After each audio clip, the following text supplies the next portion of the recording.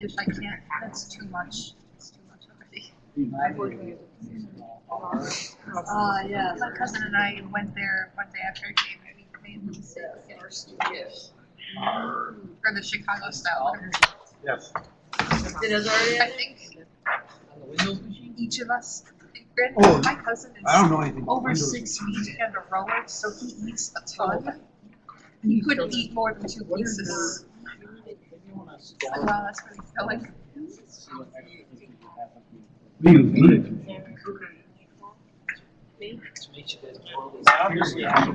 Yesterday.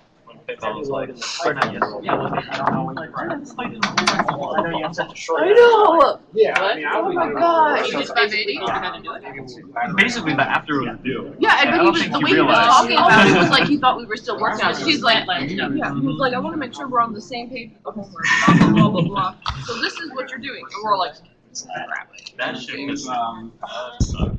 So we basically did it wrong, didn't we? Not technically, the advanced silence. It sounds like I did use a bad password. No, no, we didn't. Okay, Yeah. sure. For the, what? For the.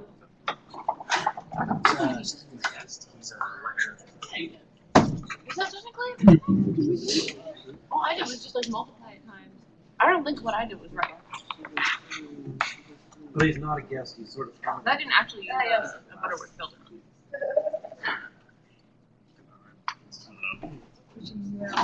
No firework filter flyway.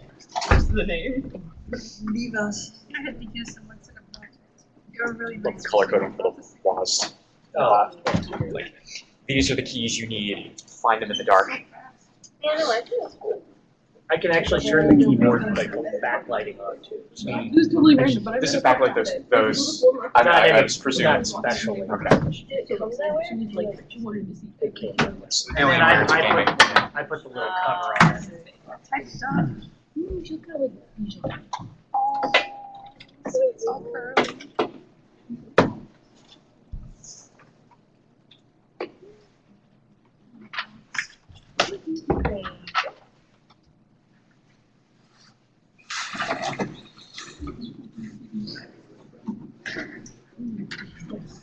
it's so. Well, maybe when I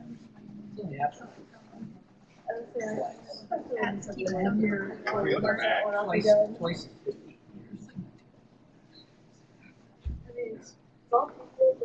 I think when it happens to me too. It just gets annoyed by the loud. Was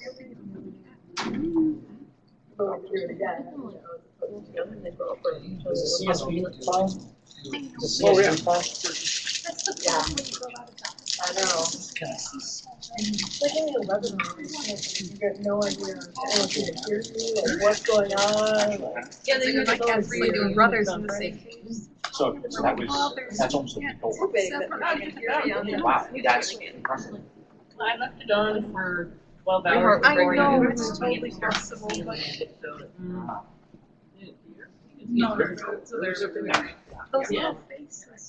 the whole set, even if they are the ugliest cats I've ever seen, hold up so much.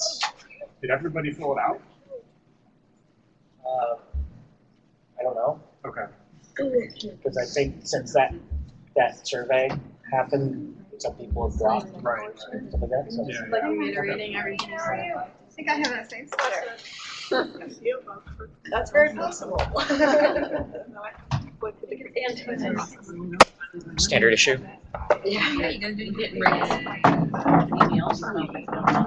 I think email files that people like the email, people register and be on a wait list for a biostat course. From, that's what I did that Nice, time. because Sometimes sometimes- first. Yeah, Yeah. Sometimes. who's the biostat So, ah, Okay. RNA, from what I understand. Usually that's on, uh, How long was that? hours based on lab what, was uh, plot printed out, because no one knit it. Did we anybody ran know over anything there about one what time. this- Oh, a lot of people. There So a lot I'll of say people still never something got like in. Yeah, After, And then the told people didn't drop until not the last drop. So it's But good. I wanna, like, And I'm looking at just basically, uh. For versus two people who have control not groups. moved That makes sense. Right, yeah. I could use like. Yeah, so yeah. So, in Get the future, I'm probably gonna wait is the people, vibe I'm getting. give people Feel that priority right? apartments. And then search for more Automatic detail on priority. Friday. Yeah. But it's a shame because there are some biostats people doing that. There's a lot of habits. Already. But I can't know which ones those are comment, ahead of time. like, I apologize. Yeah. She wanted to make it darker, but. It would definitely be like a learning experience. Some familiar. None of us I have just done think that, yeah. It's as expected. Not for the whole thing, but for like. I don't think I have. pricing it out. Okay. Yeah, I use what he put in the lab. Yep, walk through the process of Gypsy. And tie back into. Uh, Never some of the other people are. Because working really hard with that. What would satisfy that? What do you, you consider? Me, I, Alright, so we're gonna go ahead and get started. So welcome. Um, I know there are some new faces here. So this is the Tools and Technology Seminar Series. It is a weekly um, seminar series every Thursday at this time. Uh, there's a sign-in sheet going around. Um, this is just for the pizza, so please just write your name down. It just uh, justifies our having pizza at this event that we had people here that could eat it. Um, so, all right, so I'm just going to move forward with introducing our speaker. So, our speaker today is Koh Meng Aw Yong, and he is um, in Sofia Merajver's lab in hematology and oncology. Yeah. Well, good afternoon, everybody. Thank you all for coming, uh, listen to me talk about the identifi- identification of invasive gene signatures in epithelial cancers. Uh, so before I begin, I'll just like to make a disclosure that I've licensed the fluidic device that I'll be disclosing in this uh, presentation from the university. And also a word of warning, warning, I'm not a computational biologist by training, I'm a cancer biologist by training. Um, so I hope this is not too heavy on the biology side for you guys, but if you have any questions, feel free to interrupt and, um, and uh, ask away. so I'll just start off with a brief overview of how the talk is going to be like. Um, first, I'll give you an introduction on why we want to study invasive gene signatures and how we could possibly do that. Um, I'll follow up by describing a little bit about the fluidic device that I've developed in my uh, during my time here. And I'll talk a little bit more about how I've applied this device to identifying invasive gene signatures. And I'll quickly conclude uh, by um, running through a summary of our main points presented. So, um, from a cancer from a cancer biology point of view, uh, the overall survival rate for patients with uh, locally confined tumors, that means cancers that have not that have not invaded past the primary site, is extremely high across almost all cancers. But when once this cancer once cancer has invaded past the the organ site and developed invasion, this survival rate drops, and the, the survival rate the survival rate further drops when the patient develops metastasis, which is uh, when the cancer has spread out to distal organs. So from a cancer biology point of view, studying cancer invasion, uh, the biology of cancer invasion, is a, is a way of us uh, trying to capture the disease before it becomes uh, unsolvable. And by doing so, hopefully we will be able to detect uh, certain biomarkers that will be of use, either diagnostic or of therapeutic purposes. And when we talk about biomarkers, you know, in the era of personalized medicine, biomarkers are key uh, in ensuring that this field succeeds. So with advancement in sequencing technology, and I'm sure ev- uh, most of the most of the people here in the audience are working on algorithms to solve um, to identify uh, to solve through the sort through the sequencing data. Uh, this is really key in accelerate, accelerating the progression of personalized medicine. However, problems still lie um, from the aspect of the biology where we observe het- um, significant heterogeneity that um, we see in almost all, any type of tissue. This complicates sequencing and also generates uh, possibly a disconnect between the biomarker identified as well as the biolog- biological function of that biomarker in clinical progression. Uh, currently, uh, we have several available solutions such as single-cell sequencing. And um, of course, every day, you know, you, you, you see papers uh, reporting new algorithms to help sort through uh, sequencing data, to make sense of the data that, uh, to identify biomarkers. However, single-cell sequencing still have uh, quite a few drawbacks. Low, cap- low capture rate, you know, you got um, sequencing error rate, intrinsic sequencing error rate that you got to sort through. And algorithms, effective, the effectiveness of algorithms, again, is really dependent on what you put in. And I believe this is probably a saying among you computer, uh, computer scientists, that garbage in, garbage out. Um, so what you get is really dependent on what you put in. And um, so to solve this problem, you at least have to try avoid putting in garbage, or at least separate the combustibles from the non-combustibles. So what does this mean towards like tumor uh, in the sense of uh, cancer biology? So there is definitely a need for better quality input to provide the, the provide for analysis. And this can be done by trying to tease apart the heterogeneity at the upstream stage. So we try to tease apart the tissue heterogeneity and provide you with uh, provide you know uh, provide uh, samples that we know more a little bit about. And what do we know about tumor heterogeneity and you know, um, how can we go about this uh, problem? So in, with regards to tumor heterogeneity, the tumor invasion front is one of the better studied fields within this area of uh, where the tumor invasion front demonstrate clear phenotypic differences from the rest of the tumor.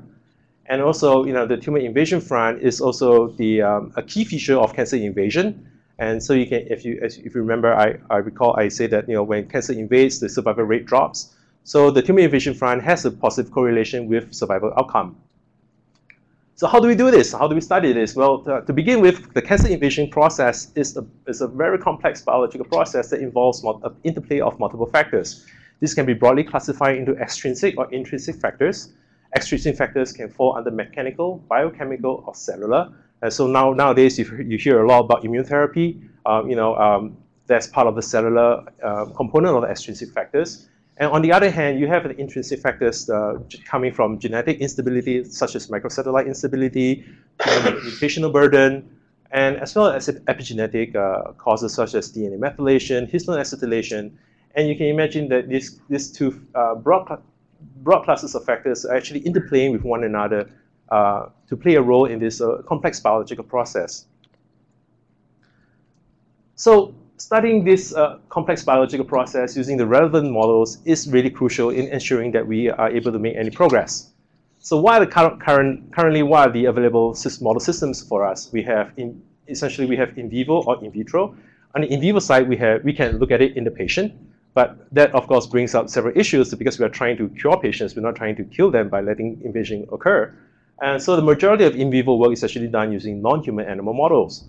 Uh, the problems with non-human animal models, of course, ease of use, cost, and you know, the, the fact that you need specialized uh, personnel, uh, personnel trained in animal handling to uh, study this. So it's not surprising that there's a lot of attention paid onto in, in vitro devices. Uh, in vitro devices can be broadly classified into 2D and 3D.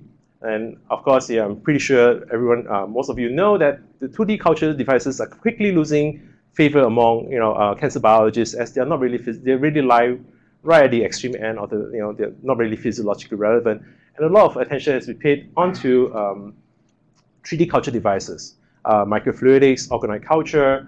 Um, in fact, this is where we where I focus my attention on developing a 3D culture of um, uh, I guess uh, of cancer biology progression.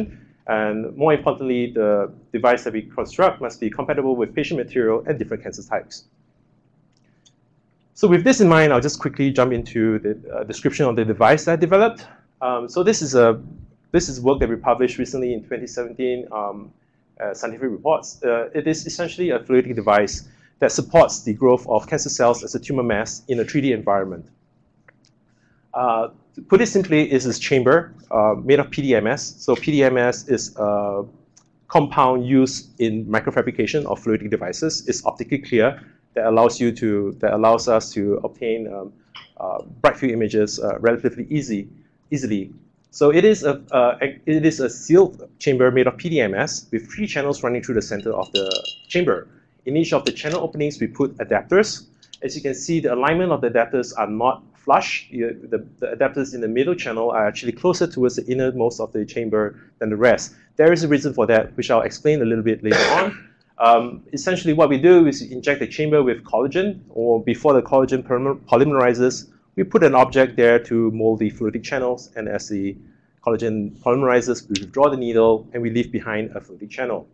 And in the middle channel, we inject cancer cells, which can be captured as a, which will be um, kind of grown as a tumor mass.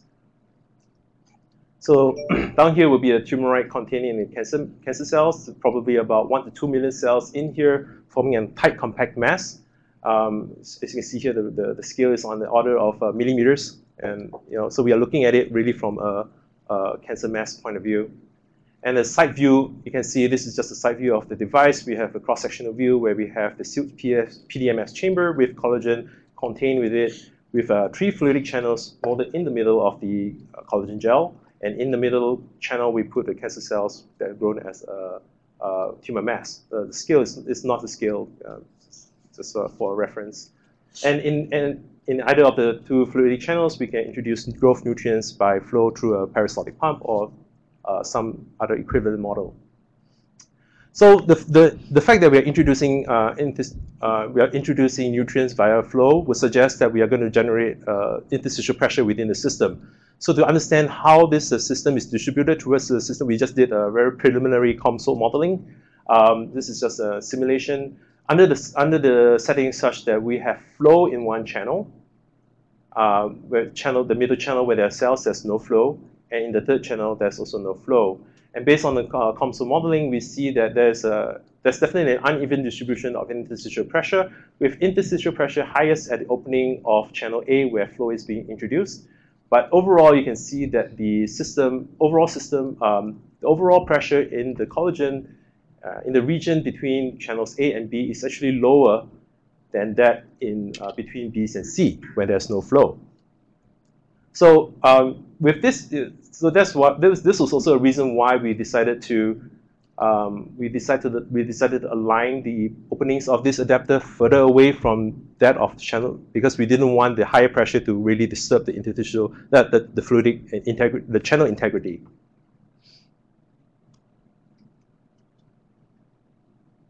So with that in mind, we uh, with this under this uh, this setup, we grew prostate cancer cells in this device and we were able to track the dynamics of invasion into the collagen over time. And uh, this is, we're talking, uh, it's not like one, two days, we're talking about three, three weeks, three weeks of, uh, or.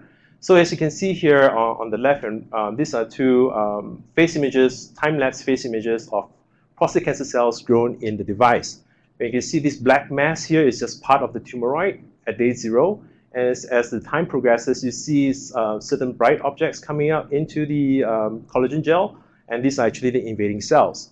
So because, uh, because of the ability to uh, capture these images using bright field, we can easily quantify the invasion rate or invasion distance over time. And this is uh, done for both uh, PC3 and DU145. So what, what you can appreciate is that um, the invasion distance of cancer cells into the collagen varies from region to region. Cancer cells invade less towards the region of uh, between A and B, where there's flow in channel A, then there, then they, uh, then that, then the cancer cells in between regions B and C when there's no flow in channel C. So this was kind of counterintuitive because we were introducing nutrients through channel A, and you would expect that cancer cells would invade more towards the source of nutrients and away from that. So again, that, that brought us back to the fact that there was an uneven distribution of interstitial pressure, and that could have likely played a, a more of a role in directing in invasion distance than nutrient source. Um, this was seen not just in PC3, but DU145 cells as well. And uh, moreover, we also found when looking at the overall invasion distance, we found something interesting, that the invasion distance or invasion rate of different cancer cells did not remain static over time.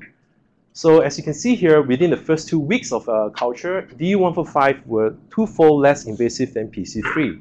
But almost like after two weeks, you can see that this uh, dramatic increase, this almost like a spurt of invasion that enabled the cancer cells, DU145 cancer cells, to catch up with that of PC3. Uh, this suggests to us that there might be some phenotypic plasticity occurring in the cancer cells that would be that is that could play a role in invasion rate. Um, so I'd like to also highlight that um, the invasion is it is known that DU145 uh, are less invasive than PC3 using conventional transwell invasion assays. But you know, and so our early findings, our findings in the early uh, early time points support that. But the fact that we see this change almost abolished after two weeks was something kind of interesting to us. So is that two kind of cell lines? There are two different types of cell lines. Two different. There are two different. Biologically, they're very different. One, the PC3 is actually isolated from a bone metastasis, where whereas the DU145 was actually isolated from the dura mater, which is somewhere in the brain. So they, they, they, they came from very different origins. So you know, it, it highlights, it points to you, uh, it highlights the, the heterogeneity between cell lines, between biological samples. When, so when you're dealing with such things, you know, when you're dealing with such studies, you have to bear in mind that heterogeneity does exist. And it is not static. They change over time. So in your uh, setup, uh, when the cell is growing, is there any uh, fluid exchange in channel B? Like, do you inject liquid? No, so channel B is sealed. So the cancer cells are, are captured within the channel. They are not allowed to migrate out of the channel. So we block the, we injected the cells into the channel and we seal them in. So the only way they could go out is horizontal, uh, long, longitudinally. In other words, the uh, tube that you say inserting into a channel B is only for injecting the cancer. Yes. Would that be Yeah, sorry, I did, I didn't probably I didn't do a good job of explaining the device. Yes, you're absolutely right. Uh, but originally, B, so B was, is that liquid or is that gel as well? So it's liquid. So um, so so when we model the channels, these are these three these three fluidic channels are initially empty. So um, because you do a needle, we put a needle or some sort of cylinder in there to kind of clear the area of collagen. So when the collagen polymerizes, that region is free when you pull out the needle. So it leaves behind a, a kind of like a fluid-filled space that we can replace with cells and seal it in. Uh, so in this system, the collagen gel is an analog of like epi- epithelial tissue, Yes. and A is like the Blood vessel. ves- vessel, Exactly, something like that. Yes. and then the B is like the tum- original side of tumor. Yes, that's kind of. Of course, we don't have endothelial cells here, but we. I have had successes in um, putting endothelial cells in one of the channels, which I'll talk a little bit about later on. Um, so um, okay, so um, yeah, so so phenotypic plasticity, dynamic changes in uh, uh, cancer phenotype. Um, and this is not only seen, uh, we can not only just use this to study uh, prostate cancer cell lines, we can use this to study breast cancer cell lines as well. Uh, this is uh, work done in my current lab uh, where we've grown triple negative breast cancer cell lines, SUM149, BT549, and MDA231. And you can see here that we are also able to quantify the invading cells here highlighted as these bright spots on bright field. Um, because this is a low, low objective uh, uh, magnification image, so you don't see a lot of the cellular features, but this is just to give you a sense of how um, the tumoroid uh, behaves. And uh, just for looking at a macro scale level, you can see that in addition to just invasion rate, you can um, there's also differences in the ability of the cancer cells to form tumor masses. We believe that there might be some underlying biological um, implications behind that. Uh, that's something of an active study. Uh, but, you know, um, I can't comment too much more on that. But it's just that some this is a phenomenon that we observed. More so than breast cancer cell lines, we are also able to apply grow cancer uh, patient-derived material in this device. Um, so I have successfully used this device to culture three um, PDXs, patient-derived xenografts. Um, this, these are essentially patient material that have been transplanted into mice, and we isolated those tumors from the mice and grew them in this device. And we have also successfully grown uh, material from pleural effusion, which is um, the liquid uh, isolated from the space between the uh, around the lung. Um, and this, uh, this, this uh, material is often found in patients with metastatic cancer. So we have successfully grown them for up to at least three weeks for most of the uh, for most of the material, and we are also able to quantify the invasion rate of those. um. So um, just to give you a better sense of uh, how the dynamics uh, look like, because right now I've only shown you uh, still images. This is just a time lapse video of the tumor dynamics. Oops, no. So this is one of the PDXs. So you can see as time progresses on, you see some bright spots coming out from the tumoroid mass center. And from here, you can easily appreciate that invasion is not uniform throughout the entire tumoroid for this patient. You see only specific regions of the tumor that actually have invasion. This again is, uh, this is also something of um, significance because in clinical patient samples, you know, cancer invasion does not occur throughout. Yes. What's the orientation? Is is left up or is left? Oh, left. Well, it's Where's yeah. channel A? Um, channel A is here, on the left. But you said that. Yeah, weren't you saying that invasion was showing more? Yeah, so that's that was only in prostate cancer cells. So we don't see that in tumoroids here. So I'm not sure what to make of it. Um, maybe there's again some heterogeneity in biology. I, we're not sure. So this is so just some preliminary data that we got, and we just uh, we are still actively studying this area. Yeah, but good point. No, definitely, definitely, good point. It's, it seems to we only see that in prostate cancer cells, but in breast, we have yeah. So and it's uh, PDX number two. So you can see also, you know, invasion occurring over time. In this PDX, invasion appears to be a lot more even throughout the entire tumoroid. Uh, so it suggests like there's a lot of heterogeneity between biological samples. And we are only uh, really, at the tip of the iceberg and with regards to really understanding the underlying un underpinning uh, biological reasons behind that. And number three is the pleural effusion. Again, the pleural effusion behaves somewhat similar to PDX number two in the sense that we see even distribution of invasion throughout the entire tumoroid rather than specific regions. Yes? Have you seen any concentration of invading cells near channel abnormalities? Like I'm thinking like uh, Yeah. pulmonary embolism or something like that. Yeah. We, we, you actually see the small uh, balloons. So I think we, we um, so yeah, there's definitely some stru- like structural, I won't say defects, but so it's not smooth. Um, but like, is that what you're trying to get at? Yeah. So I mean, there is maybe some correlation, but we haven't really done in-depth analysis on that yet. So um, you know, uh, so th that is taken over a period of 21 days. Um, so to give you a better sense of maybe a smaller microscale time of how invading cells occur during. So we use a MDA 231, which is highly invasive cell line, um, to take a time-lapse video of invasion over 24 hours.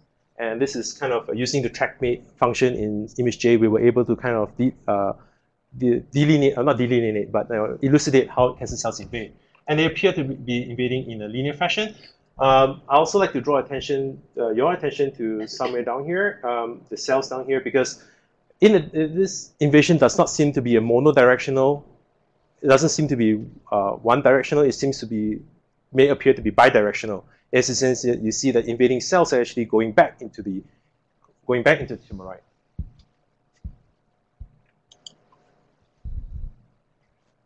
So, like say, almost looks Brownian. I wouldn't say it's Brownian uh, because, like, say, look at this, it's really flowing the tracks back in. So are they di- digesting some of the matrix and they're We believe that that's the so case. they might have an easier path in certain Likely, that that's the that's the underlying theory behind like leader cells, and that's why people are so interested in studying the invasion front because they believe that the cells at the invasion front are the ones leading the way for the rest of the tumor to to to to invade. Um, so I think you know being able to study the dynamics of such a process on the real time is uh, I think of, of value. All expressing matrix metalloproteinases. Uh, so later on we, we'll talk about we're- yeah we'll, we'll talk a little bit because we'll um, um, towards the end of the towards the end of the talk this is just to kind of uh, highlight to you the device what it's capable of doing and what we you know this is a, yeah and later on I'll talk a little bit about the gene expression analysis of that Um, You know why the lines tend to go. Yeah so I think it's at the top? yeah this is something we uh, something that we saw I think um, I'm not sure I think it You'd could be expect if the flow is going in one direction, that comes. Yeah, yeah, exactly. Um, so that's kind of interesting too. That's something that popped up. Why is it going at an oblique angle? But it seems to be at least linear. Is, is channel C open? Channel C. open? Is there flow out of the out of the out of Well, we so we arranged it such that channel A and channel C are mirror images of each other, but there's just no flow going through channel C. So it's a closed loop circuit. Okay. Yeah, so it's a closed loop circuit, so you can consider it closed. Yeah. Yeah. Could there be things when you did you you put the, the cylinder in there and then cast? Yes.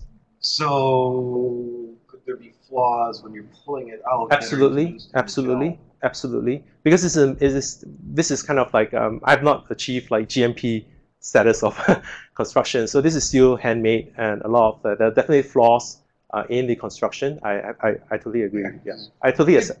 You It's- could get Yep. biases and things going on. Yep. Uh, Somebody do it by hand, they're pulling it out. Yes. And I don't know, do they twist? Uh, no, you just gently Just pull gently it out. pull? Yeah. Yep. Yep. All right. Um, okay. So additional applications of the device, we can use this to study um, effects of hypoxia and invasion. Uh, down here, we drew uh, we grew some breast triple negative breast cancer cell lines, SUM149, under the effects of normoxic or hypoxic uh, conditions, and we find that under conditions of hypoxia, cancer cells seem to invade less than under normoxia. We are also able to do co-culture invasion, uh, co- co-culture experiments. Where instead of um, so this is a so previously I've talked about a three-channel setting. This is actually a five-channel setting where we have uh, fluid, uh, fluid flow on two additional channels on the other side, and we have uh, macrophages either stimulated with uh, phorbol ester or not. So in this experiment, we see that um, uh, in the breast cancer cells tend to migrate more towards the uh, the macrophages stimulated with phorbol ester than that without. So suggesting that macrophage, activated macrophages might have an effect, might be secreting some factors that uh, induce invasion. And we also able to co-culture with endothelial cells. So previously I talked a little bit about um, including endothelial cells in the se uh, separate channels. So down here, I, I, don't think you can see very well, um, but you know we are able to grow uh, endothelial cells in channel A with the presence of flow. So this will be a lining of endothelial cells around the cylinder. And I'm, I'm sorry that you can't see it very well, but the alignment of the endothelial cells are in uh, are, are parallel with the flow of uh, are in parallel with with parallel with the flow. I'm sorry, yeah, parallel with the flow. And because it's GFP, we are able to see. Right. Far right, the other right. Okay. Yeah. Oh, yeah. Here, so you can see, you know, some uh, the orientation of cancer cells in the direction of flow, and you know, because they're GFP, we can look for any structural deficiencies in endothelial cells. I would say it's perfect because you see a, like an empty spot here, but otherwise, you know, you generally get a pretty nice monolayer. so in summary, I just wanted to describe, describe to you a little bit about the device that I've developed and some of the potential applications that we have, uh, we, we are able to do with this. Is, um, is compatible with different cancer cell lines and patient material. Uh, we are able to achieve long-term culture over weeks without disturbing the culture and the cells remain viable, and we are able to record the dynamics of uh, cellular invasion down to a single cell level. We are also able to use this to study how different environmental factors can affect invasion, and there's a possibility for co-culture with different cell types. Uh, with so many multiple possibilities of a study, you know, um, the, we decided, I decided to really focus on elucidating the gene expression landscape of the invasion front because that's where we really want, that's where really the, the bread and butter, uh, the meat of it is. So this comes me, brings me back to the next, the next part of my talk, which is using the device to identify invasive gene signatures in epithelial cancers. So more so than invasion rate, invasion distance, we are interested in what genes the invading cells express, which is basically the molecular phenotype of the invading cells. To start off, um, I focused on a molecule known as GDF15. So this GDF15 is a pet molecule of mine because I worked on it as a, as a graduate student. Um, this, is, this molecule is also known as macrophage inhibitory cytokine. It is a member of the TGF-beta superfamily, and it is a known marker of metastatic cancers in uh, metastatic cancer in both for both prostate and colorectal. So I actually came from a prostate lab. So um, um, so in this study, um, down here is just a receiver receiver operator curve where you where you see a positive correlation between serum macrophage cytokine 1 or GDF15 with the presence of bone metastases in prostate cancer patients. So there's a positive correlation between serum levels and bone metastases. And on the right panel, here you see serum uh, cumulative survival curve of colorectal patients with different levels of GDF15. Essentially, patients with higher levels of GDF15 have an overall lower survival rate than patients with uh, lower level of GDF15. So GDF15 is an important marker both of metastasis and clinical outcome. So in my own work as a graduate student, um, I found that in addition to GDF15 being a marker of metastasis, we observed differential, differential staining of GDF15 in prostate cancer xenografts.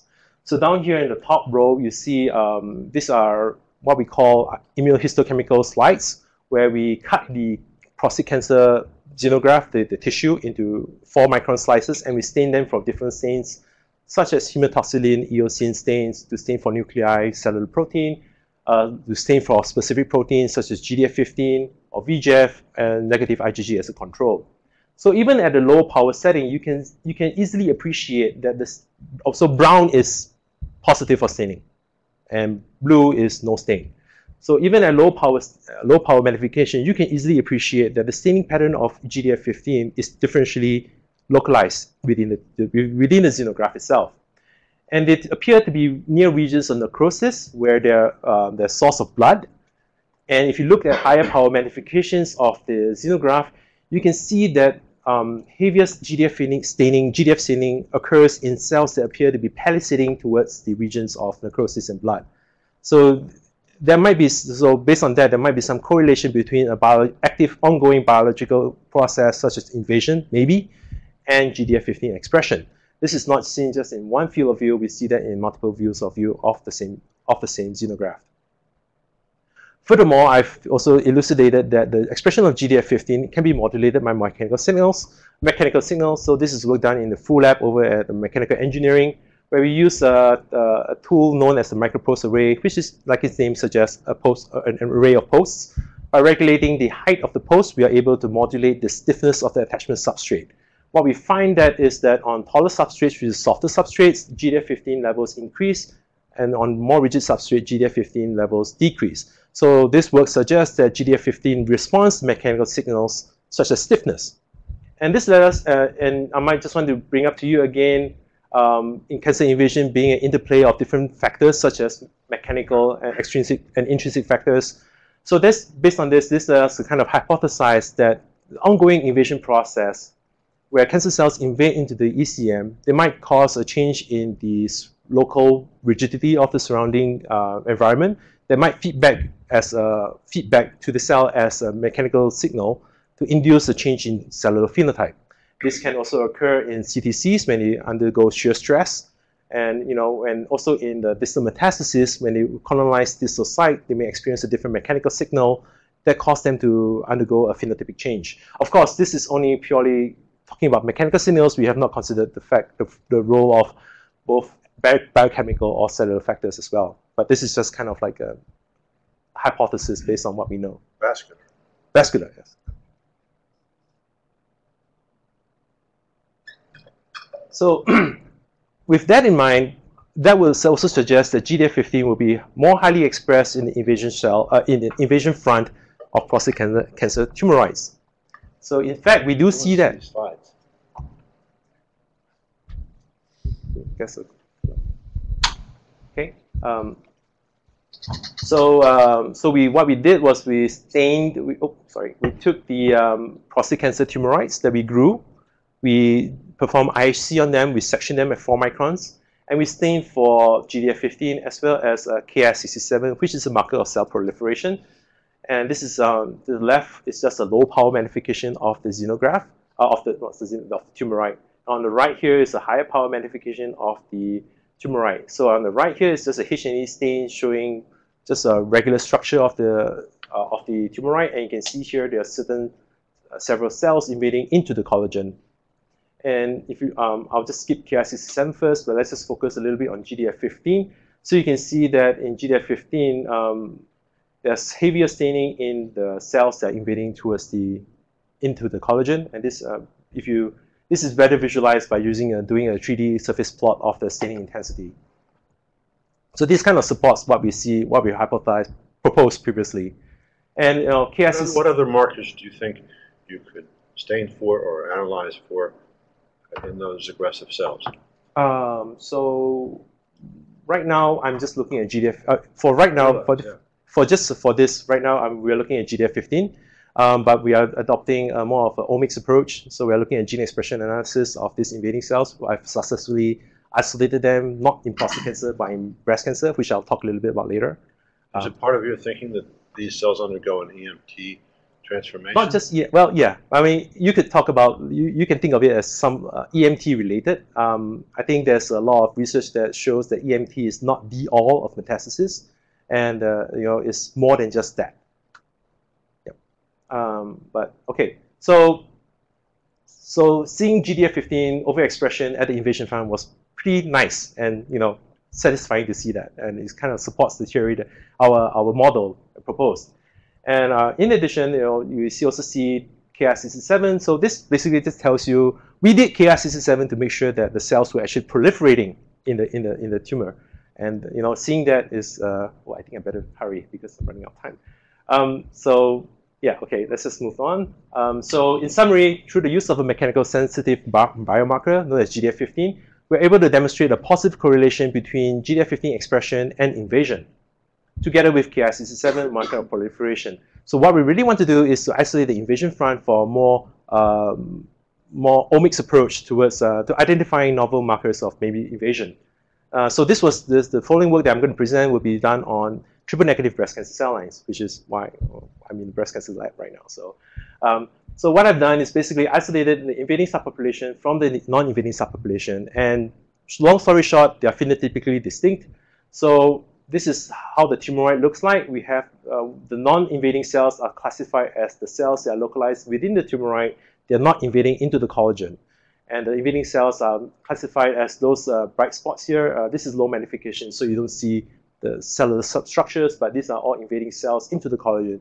I've managed successfully managed to isolate these two subpopulations as matched controls. So you know when well, we subject them to gene expression analysis using a microarray, uh, the, the uh, 2.1 ST 2.1 array, and you know based on the PC analysis, you know we see there's a clear distinction between the non-invading and invading cells. So yes. How can you be sure that the differences you're seeing not due to the other types of cells mixed with the collagen? Um, I'm sorry. Um, could you rephrase that?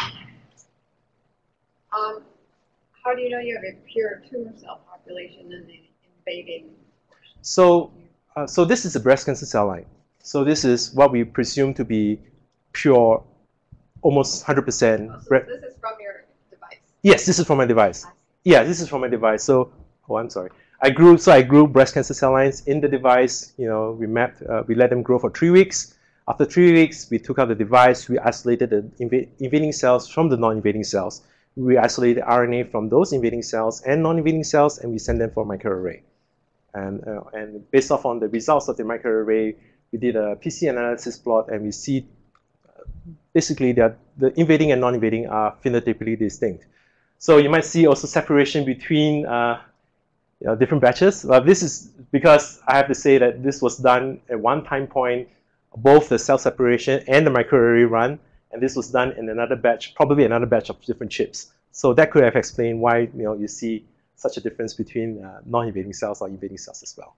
The reason the non-invading zone is completely black is because there's a Yeah. cover over that on the It's tube. uh, full of cancer cells, chock full of cancer cells. Really? Yeah. So um, I guess maybe you weren't you weren't here earlier on.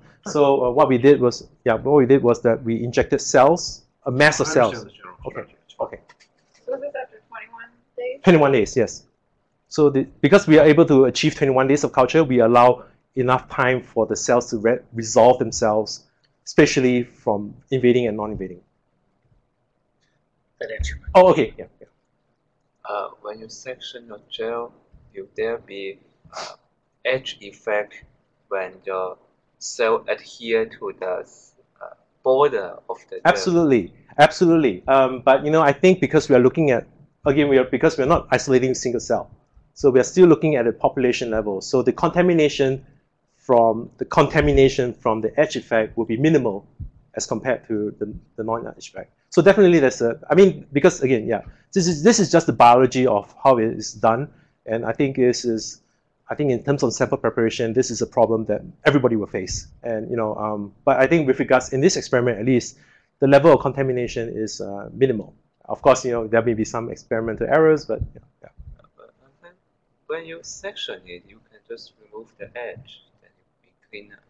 Section. Oh yeah, we, we can do FFPE, but what we really wanted to do was light cell isolation. So FFPE is good, but you know you get you get problems with RNA integrity, and you know i- i- fixing is a problem. There's a lot of things you need to consider with FFPE samples, um, but with light cell you don't have to worry too much about that.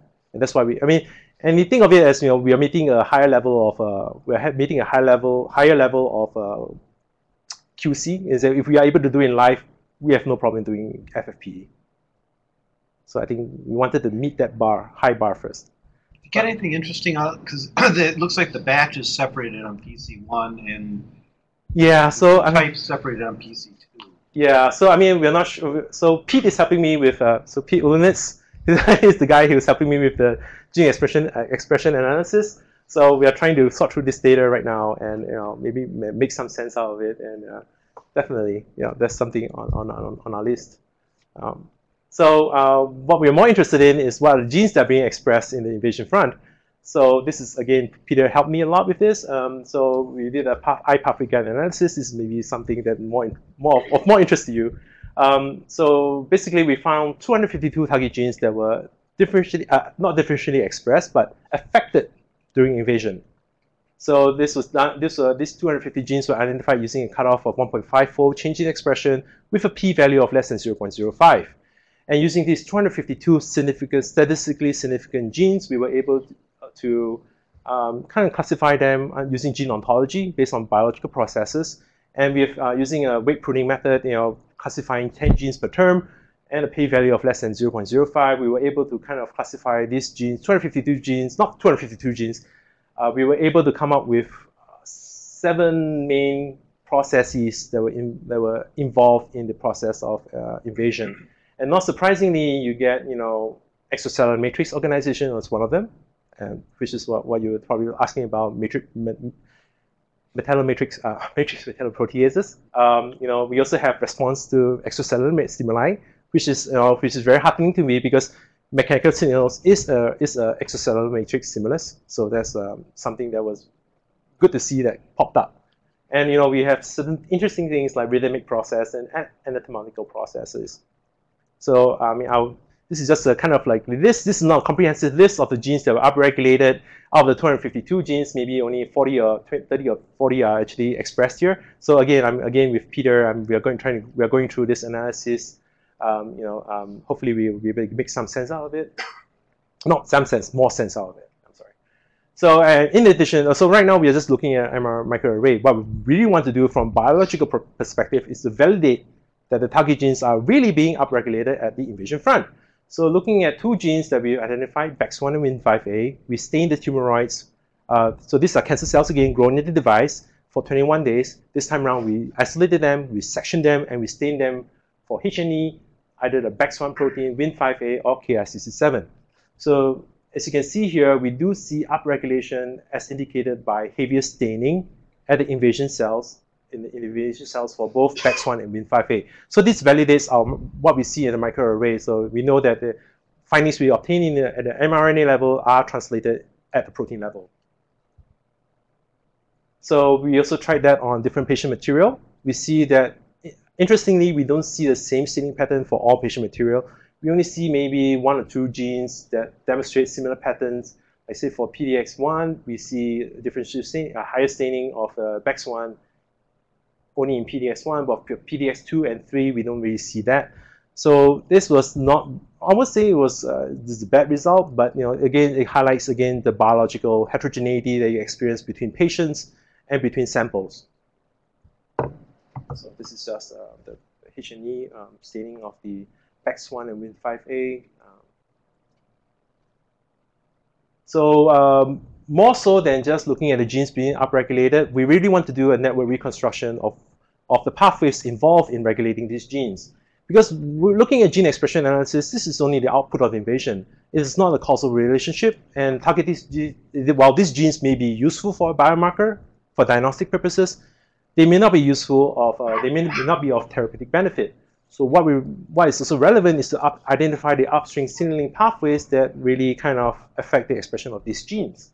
So to do that, uh, I actually talked a little bit to Marcy. I know, um, worked a little bit on Cytoscape. Um, so Cytoscape has this application known as the iRegulon application.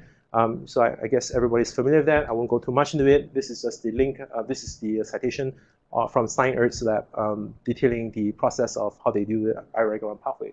So this is a preliminary analysis. Um, basically, using the iRegulon application, we were able to identify predicted transcription factors in this, uh, in this uh, force-directed map, we have downregulated genes as green squares, upregulated genes as red triangles, and predicted transcription factors as blue hexagons. So um, you can see that, you know, interestingly, you have this one big uh, green square. So this green square was a downregulated gene that's also identified as a potential transcription factor that regulates the other genes. So, um, so yes. You said this was a force-directed map. What were you using as your coefficient? Uh, so this, well, I can't remember the details. I'm sorry. so we use, um, so the Cytoscape, they have, I use the GeneMANIA um, force-directed. Um, so yeah, so I, I use the default settings. I haven't played around too much with the, uh, the coefficients and stuff like that. Um, but yeah, so this is preliminary, but um, so I mean, but if anybody has any more experience in um, elucidating pathway analysis, like you know, uh, from target genes, uh, I'll, I'll be happy to hear any input because you know I, I think I need help with this uh, because. Uh, so right now we only have a list of predicted signal transcription factors based off of the list of genes that we have. So what I really want is to identify the signaling path, the signaling pathways that affect these transcription factors. So if anybody knows of anything, please let me know. So in conclusion, um, I'll just quickly run through. We've created, I've developed a device that allows for robust long-term 3D culture. And using the device, we are able to identify potential applications of biomarkers based off on like GDF15, uh, which is a known marker of metastasis, which based on our results might be more useful earlier on in the earlier stages of disease. We also able, able to adopt, adopt an omics approach towards identifying the invasion uh, gene expression profile of invasion invading cells. Um, right now, I've only done RNA, but it's possible to do it with DNA and protein proteomics. Um, so the, the good thing about this is that we have a known we have a known biological function invasion, and with that, by analyzing the genes, we are, we can clearly associate these genes or any biomarkers identified with a known biological function. And this might help in helping us uh, develop better stratification markers for personalized medicine. Although, of course, of course, the network reconstruction still needs work. And uh, based off our preliminary analysis, it will appear that different individual patients will have a different, quite a unique gene signature, um, which we'll need to consider if we want to move on with this. Right. Um, with that, I'd like to thank all of you and I'd like to acknowledge my past labs, the Fu lab over in mechanical engineering, um, my current lab, um, um, and as well as the ULAM and, of course, the DNA sequencing core. Any questions? Yes. Okay. Yeah. Sorry, sorry. My left side is head and neck cancer. Oh yes. Cancer. Uh, have you done any experiments? with that? I'm actually looking to broad, broaden. I'm I'm looking to broaden the application of this device to multiple cancers. So pancreatic is one. I know head and neck cancers is one because in vivo models, I believe, are difficult to obtain using head and neck. So I think this is something that we could possibly talk a little bit about. Um, so pancreatic is, a, of course, another interest of mine, liver. Um, so basically cancers that are in dire need of biomarkers for better diagnostics, I think that's where we want to really expand into. Uh, So I have a couple follow-up Yes. questions from that. So one is that, so, um, you know, we study HPV positive and HPV negative. Ah, okay. and. And one subtype tends to invade locally more often, and another subtype tends to have distant metastasis. Yes. So which, which is your system focused more on? There's clearly a, a difference the molecular level between those. Mm-hmm. Do you think yours is more modeling the locally, local invasion? So um, I have to say we have to try. If you, uh, I think to answer the question, we'll have to try it. There might be differences in the invasion rate between the ones that metastasize more than those that don't. So um, I would say that invasion rate may be, I mean, based off on like MDA 231, the results from MDA 231 and uh, S, uh, SUM 149s, there is definitely a difference. We are able to differentiate uh, differentiate between more invasive and less invasive cells. Or whether that translate to metastatic, um, I think that's something we have to um, talk about. And I can think of a couple of ways that we can do this. Um, but maybe we can talk a little bit more after this, if this is okay with you. What's the, uh, the take rate for your patient-derived xenografts? So far, it's 100%. Hundred percent? Yes. How many have you tried? Four, five. Okay. Yeah. So uh, 100%, but five out of five is not much. I can say that. You know, so when you got a 100, maybe you get, I don't know. Have Yes. you ever tried infusing cytotoxic drugs in your system? Paclitaxel, I've done that. What's that? Paclitaxel, Yeah, okay. I've done that. Yeah. So So these could be, there could be an avatar for patients. Yes, that is the idea. That is the idea of growing patient material in these devices, subjecting them to a specific therapy that the patient is undergoing, identifying resistant cells, and phenotyping them for markers of resistance that could be used for additional second line therapy. Because the take rate in mice even is Exactly. below hundred percent. Yes. Yep. And SUM one forty-nine, that was the hundred and forty-ninth patient tumor sample that they tried to grow in culture, and it was only the second successful cell line. Yes. And, and the fact that we can, I think, I think the fact that I can, I was able to culture pleural effusion, I think is very heartening to me uh, because you know being able to do that is you come, you have patients coming in with lots of pleural effusion and they don't know what to do with that. And you know, maybe we can just use that. Uh, but you know, it's still early. But you know, I'll definitely, if uh, I'll be happy to talk more about Have you tried any non-transform cell lines like the Ah. MCF10As? MCF10As. I've You know, I've- anything so MCF. I've tried. So MCF10As do invade. they do? Yeah, they do invade. But the thing is with MCF10As, they are not really normal. Right. Yeah. So I They're mean, not transformed either. um, so the ones I've used are transformed actually. The rest transform, I think. Yes, rest rest transform. Okay. Yeah, but uh, we, can talk more about it. Yeah, so I think to really use a proper control will be have we have to use primary primary cells like um, uh, primary untransformed. Human mammary epithelial cells or like um, like say untransformed squamous yeah bronchial ep- epithelial cells and, and, and those type of primary cell lines to use as a real negative control. Yeah, Um, the HMECs are really easy to get. Yep, HMAs are really easy. Yes. Oh, what's the uh, what's the uh, invasion rate in your in different cell line with your device? Invasion rate Uh, invasive rate, in the percentage of invasive cells. percentage. Oh, percentage. I think it's kind of hard to because the cells. Um, it'll be easy if we could quantify the center mass, but because the mass, the center mass is so tightly packed with cells that we are unable to to quantify how many how many cells there are in there. But I would say maybe ten percent. you know, um, just eyeballing it. You know, It's very large. I was gonna say one in a thousand.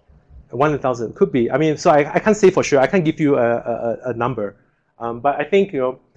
Well, we could we could no. Actually, we, we maybe be able we, we should be able to do that. Um, so looking at the H and E. So looking at the H and E, we can probably because this is a four micron slice. So this is a slice of tissue four microns deep, thick, and this is across the tumor. So we can probably quantify how many cells are here versus how many cells in there. I would say maybe on orders of 100 or even 1,000, probably. Yeah, you're right. Yeah, but the, good point. Yeah, that's something I should consider. Yes. So your device is uh, designed for solid tumors. Have you thought about adapting it to, say, blood tumors or blood cancer? So I have not tried it yet, uh, but I think lymphomas might be something of Yeah, uh, introducing a closed channel for. Uh, yes, yes, it's something definitely. Are you working on lymphomas?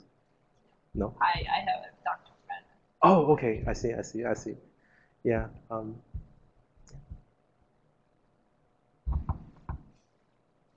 Thank you.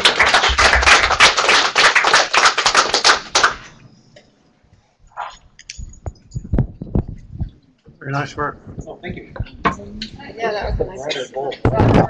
have 应该是应该是已经加了那个转化的因子。